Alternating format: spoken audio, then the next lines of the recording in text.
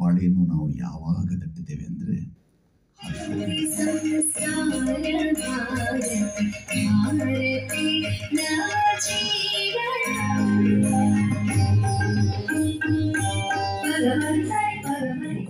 ಸ್ವರ ನಿಬದ್ಧ ಮಾತ್ರವೇ ಶ್ರಾವ್ಯ ಅಂತ ಕರೆಸ್ಕೊಳ್ಳುತ್ತೆ ತುಂಬಾ ಶ್ರಾವ್ಯವಾದಂತಹ ಸಂಸ್ಕಾರ ಭಾರತೀಯ ಧ್ಯೇಯಗೀತೆಯನ್ನು ಕಲ್ಪನೆ